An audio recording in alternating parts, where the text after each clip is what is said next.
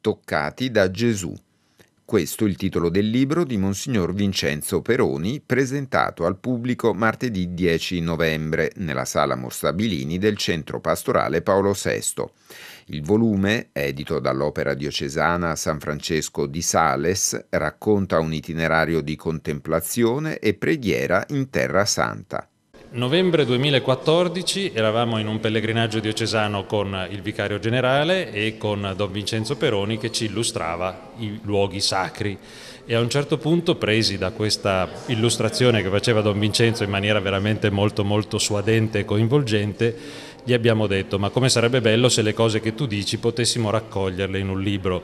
Lui dice me lo chiedono in tanti ma non l'ho mai fatto. Ecco, siamo riusciti in questa impresa con un libro Toccati da Gesù, scritto appunto da Monsignor Vincenzo Peroni e illustrato da Alessandro Alghisi che è un illustratore molto noto ai bresciani per la bravura delle sue eh, tinte tinte che ha voluto riprendere dal vero, andando insieme a Monsignor Peroni in un altro pellegrinaggio, proprio per riprendere dal vivo alcuni luoghi cari a Gesù.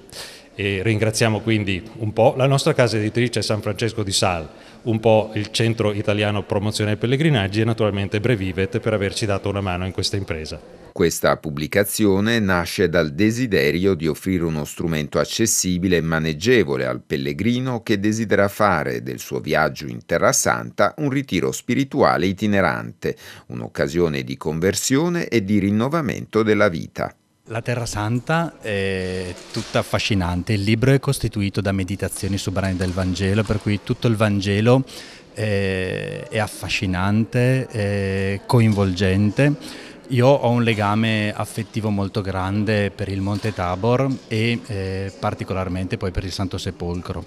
Eh, oltre ai luoghi poi negli anni eh, sono diventate molto importanti anche le persone, le comunità cristiane, i frati che lavorano in Terra Santa, per cui pensare alla Terra Santa per me è sempre dilatare il cuore su tante realtà, su tante persone, su tante esperienze, tantissimi incontri e poi il ricordo anche di tanti tanti pellegrini che con me hanno condiviso ehm, queste esperienze che davvero molto spesso si sono lasciati toccare e trasformare da Gesù.